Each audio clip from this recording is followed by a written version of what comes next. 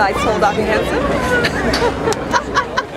I describe him as, as, as a, someone who has a lot of charisma, uh, a lot of energy, and uh, he kind of has a, you know a gift for gab, a gift, gift with words, and an ability to, to, make you understand, or not even if you don't understand, actually, to, to motivate you.